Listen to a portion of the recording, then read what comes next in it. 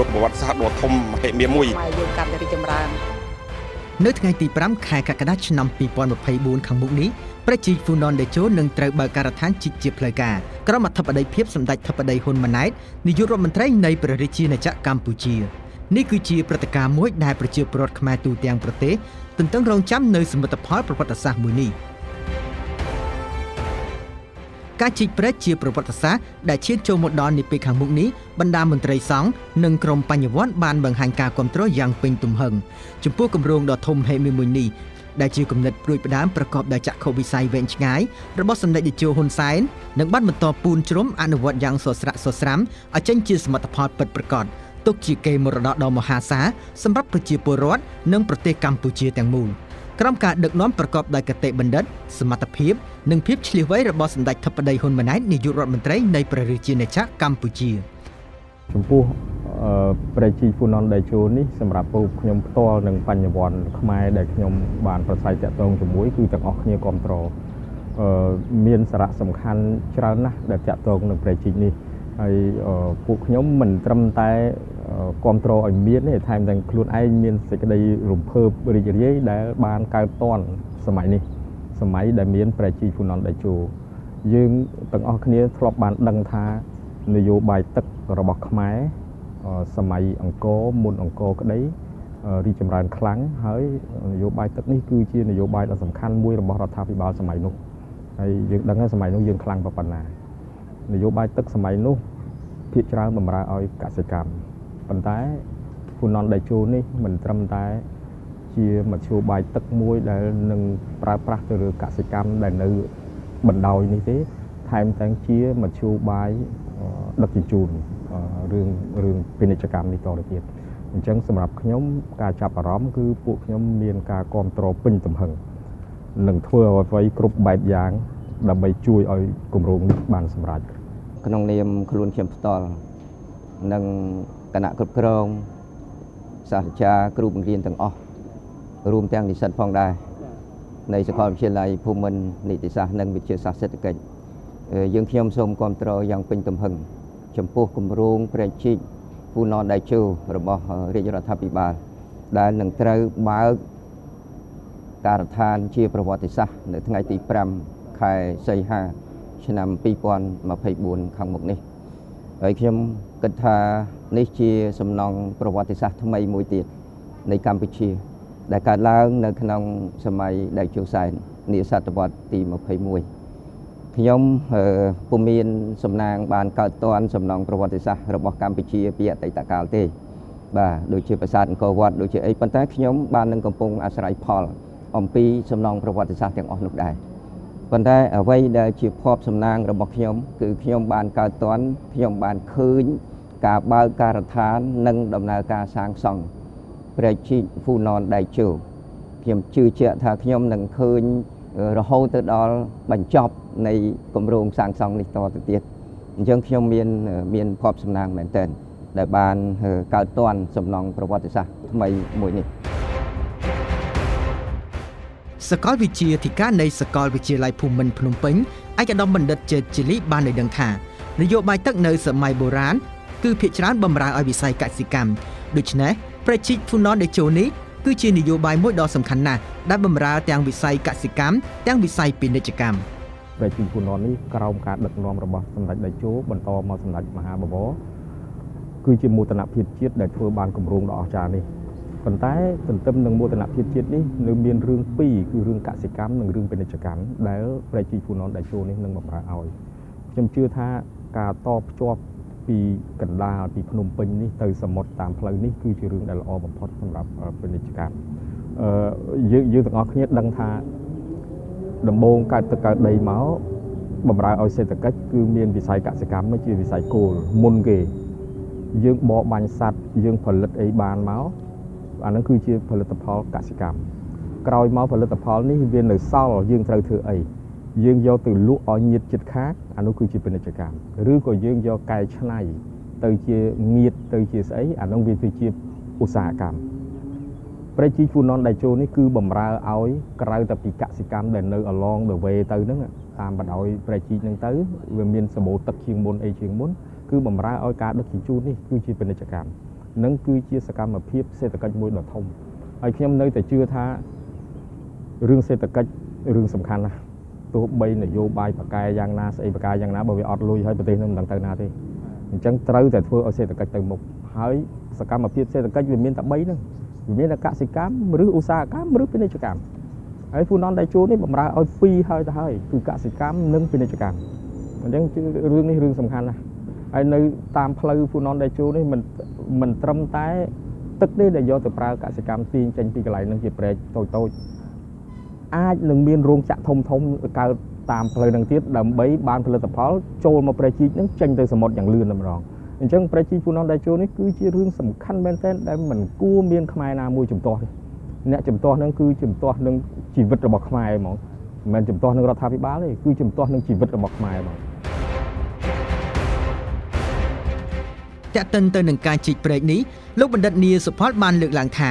ការពន្លឿនការស្ថាបនាព្រែកជីកហ្វូណនដេជោដែលនឹងបើកការដ្ឋានស្ថាបនានៅថ្ងៃទី5ខែសីហានេះគឺបង្ហាញពីភាពឆ្លាតវៃរបស់រាជរដ្ឋាភិបាលកម្ពុជាក្នុងការជំរុញកំណើនសេដ្ឋកិច្ចជាតិនិងលើកកម្ពស់កម្រិតជីវភាពប្រជាពលរដ្ឋឲ្យកាន់តែប្រសើរឡើងលោកបណ្ឌិតបានថ្លែងថា ព្រែកជីកហ្វូណនដេជោពិតជាមានសារៈសំខាន់ខ្លាំងណាស់នៅពេលដែលស្ថាបនារួចរាល់ព្រោះអាចជំរុញកំណើនសេដ្ឋកិច្ចកម្ពុជាខណៈដែលវិស័យចំនួន3ត្រូវបានមើលឃើញថាមានសក្តានុពលខ្លាំងជាងគេដែលនៅក្នុងនោះមានវិស័យពាណិជ្ជកម្មវិស័យកសិកម្មនិងវិស័យទេសចរដូច្នេះលោកបណ្ឌិតបានអបអរសាទរចំពោះដំណើរការជីកព្រែកនេះបន្ទាប់ពីការគិតគូរគ្រប់ជ្រុងជ្រោយរបស់រាជរដ្ឋាភិបាលហើយជាពេលវេលាដ៏ស័ក្តិសមបំផុតដែលកម្ពុជាគួរអនុវត្តគម្រោងនេះព្រោះកម្ពុជាមានសុខសន្តិភាព ស្ថិរភាពនយោបាយពេញលេញបាទបើយើងគិតសាមញ្ញទៅជាភាសាសាមញ្ញដែលយើងថាមនុស្សលោកនៅលើផែនដីគ្មានអ្នកណារស់នៅដោយមិនអាស្រ័យទឹកទេបាទអញ្ចឹងយើងអាចនិយាយថាមានប្រព័ន្ធទឹកគឺមានសង្ឃឹមមានប្រព័ន្ធទឹកគឺមានការអភិវឌ្ឍបាទនេះដែលយើងខ្ញុំប្រកាសគ្រប់គ្រងយ៉ាងពេញទំហឹងប្រជាជន ជាង1លាន6សែននាក់ដែលរស់នៅតាមមាត់ព្រែកនេះនឹងអាស្រ័យផលផ្ទាល់ច្រើនផ្នែកមែនតើទាំងការងារនេសាទវប្បកម្មវិរិយអកិសនីទេសចរអីជាដើមបាទហើយរឿងដែលសំខាន់មួយទៀតគឺជាចំណែកមួយដើម្បីកាត់បន្ថយទឹកជំនន់ផងដែរបាទនេះជាអត្ថប្រយោជន៍ហើយខ្ញុំជាយោបល់តល់ខ្លួនខ្ញុំខ្ញុំគិតថាសំណង់ព្រះជីជាប្រវត្តិសាស្ត្រនេះ ក៏អាចជាមូលដ្ឋានគ្រឹះក្នុងការជួយកម្ពុជាឲ្យសម្រេចចក្ខុវិស័យឆ្នាំ2050បាទពីព្រោះកាលណាមានការអភិវឌ្ឍចំណូល GDP របស់ប្រជាជនយើងពិតជាមានការកើនឡើងហើយបាទនៅពេលនោះយើងអាចនឹងទៅសម្រេចចក្ខុវិស័យឆ្នាំ2050បានជាមួយគ្នានេះដែរឯកឧត្តមបណ្ឌិតហៅពេងសាកលវិទ្យាធិការនៃសាកលវិទ្យាល័យជាតិគប់ក្រង ក៏បានបង្ហាញការសាទរយ៉ាងខ្លាំងចំពោះការបើកការដ្ឋានសាងសង់គម្រោងប្រេជីហ្វូណនដេជោនេះបញ្ញវន្តរូបនេះបានឲ្យដឹងថាគម្រោងប្រេជីហ្វូណនដេជោនឹងផ្ដល់ផលប្រយោជន៍ផ្នែកសេដ្ឋកិច្ចដ៏មហាសាលសម្រាប់សេដ្ឋកិច្ចកម្ពុជាព្រោះប្រេជីនេះនឹងជួយសម្រួលទៅដល់ការដឹកជញ្ជូនតាមផ្លូវទឹកពីកំពង់ផែនៅភ្នំពេញឆ្ពោះទៅសមុទ្រនិងទៅកាន់ប្រទេសទី3ដែលនឹងធ្វើឲ្យពាណិជ្ជកម្មរបស់កម្ពុជាកាន់តែមានភាពប្រសើរឡើងដោយសារតែវាជួយកាត់បន្ថយថ្លៃដើមនៃការដឹកជញ្ជូនបានច្រើន។ ផលប្រយោជន៍នេះគឺកាត់ថ្លៃមិនបានទេបាទទី1រឿងផលប្រយោជន៍ដឹកជញ្ជូនបាទជាមធ្យោបាយណា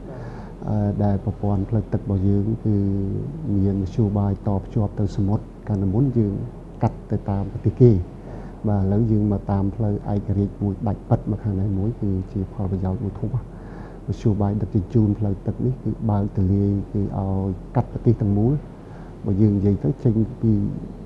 ទលេពីកងមកបុកធ្លីដល់សមុទ្រហ្មងគឺធំធេងណាបាទអញ្ចឹងមានតម្លៃនឹងមួយបាទនិងតម្លៃទី2ផ្នែកតម្លៃសេដ្ឋកិច្ច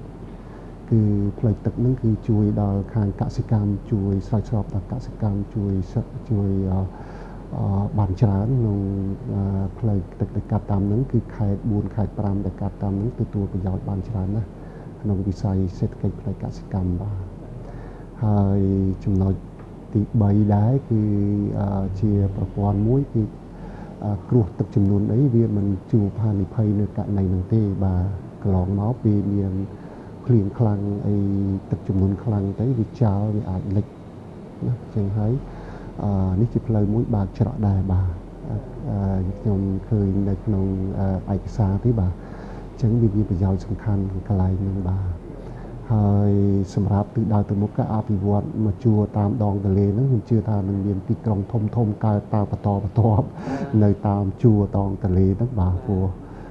បរិស្ថានក៏ស្អាតបាទបរិស្ថានស្អាតហើយជាកន្លែងដឹកជញ្ជូនកន្លែងគមនាគមន៍ដឹងស្រាប់ហើយកន្លែងនេះវាទៅជាទីប្រជុំជនទីក្រុងនឹងកើតមានប្រងព្រាតនៅតាមដងទន្លេនេះបាទហើយជាសម្បត្តិមហាសាលក្នុងតម្លៃសេដ្ឋកិច្ចនិងតម្លៃបរិស្ថានបាទ អាយឧត្តមបណ្ឌិតហៅពេងបានមានប្រសាសន៍បន្តថាយុវជនចំនួននេះពិតជាមានភ័ព្វសំណាងណាស់ដែលនឹងទទួលបានផលប្រយោជន៍ពីប្រជិកហ្វូណនដេជូឯក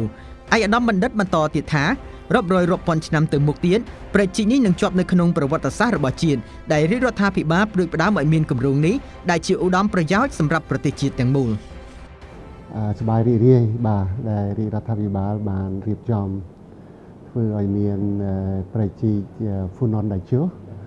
ហើយជាទស្សនវិជ្ជាវត្តសាស្ត្រមួយ ដែលមានតម្លៃធំធេងណាស់កាត់ថ្លៃមិនបានទេសម្រាប់ប្រទេសជាតិទាំងមូលបាទទីខ្ញុំគិតថាអញ្ចឹងមានតម្លៃល្អហើយព្រោះអីវាជួយដល់ប្រទេសជាតិយើងទៅខាងមុខនឹងរយៈពេលវែងរយៈពេលយូរអង្វែងបាទហើយក្នុងនាមបញ្ញវន្តម្នាក់សូមចូលរួមគ្រប់គ្រង100%ដែលទៅលើគម្រោងប្រៃជីហ្វូណនដៃជូដែលជា គម្រោងប្រវត្តិសាស្ត្រសម្រាប់ប្រទេសជាតិយើងទៅខាងមុខតរាប់រយចំនួនទៅខាងមុខបាទហើយជាភ័ព្វសំណាងដែរដែលក្រោមការដឹកនាំរបស់ប្រមុខរាជរដ្ឋាភិបាលសម្ដេចធិបតីនិងសម្ដេចដៃជោពីមុនបាទដែលបានព្រួយផ្ដើមឲ្យមានគំនិតនេះហើយជាអញ្ចឹងខ្ញុំសប្បាយរីករាយបាទក្នុងនាមជាបុគ្គលក្តីជាស្ថាប័នក្តីបាទអរគុណ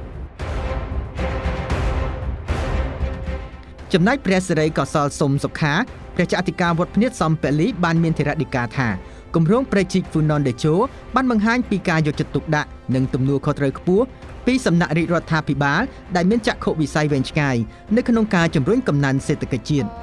ព្រះគុណម្ចាស់បានបន្ថែមថាចំពោះគម្រោងនេះត្រូវតែមានការគ្រប់គ្រងពីសំណាក់ប្រជាពលរដ្ឋទាំងអស់ ព្រោះគឺជាគម្រោងរបស់ជាតិហើយមិនគួរមានចិត្តអវិជ្ជមានមកលើការជីកប្រជីកហ្វូណនដេជោនោះទេព្រោះគម្រោងនេះមានអត្ថប្រយោជន៍ដ៏ច្រើនសម្រាប់ប្រទេសជាតិនិងប្រជាជនតចំនួនយូរអង្វែងទៅមុខក្នុងនាមខ្ញុំបកណាអាត្មាភាព ជាព្រះសង្ឃមួយអង្គក៏ដូចជាក្នុងនាមជាពលរដ្ឋនៃប្រជាណាចក្រកម្ពុជាមួយអង្គយល់ឃើញថាការជីកព្រែកហ្វូណនដេជូនេះ គឺមានអត្ថប្រយោជន៍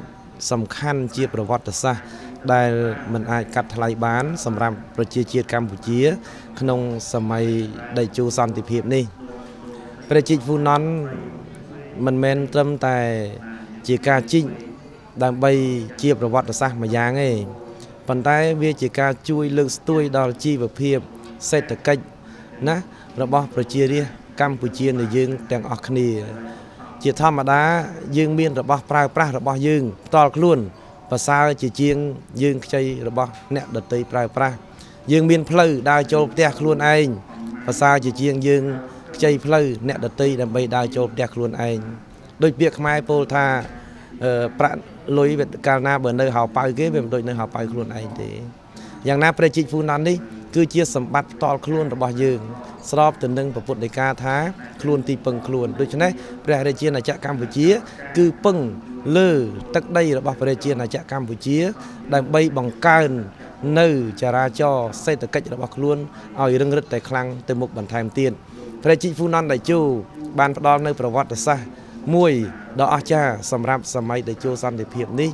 ជូនដល់ប្រជានរាជគ្រប់ចំនួនតទៅមុខទៀតហើយព្រះជីកហ្វូណាន់តេជោនេះ នឹងបានជាព្រះជីកប្រវត្តិសាស្ត្រជាផ្លូវទឹកដ៏មានសក្តានុពល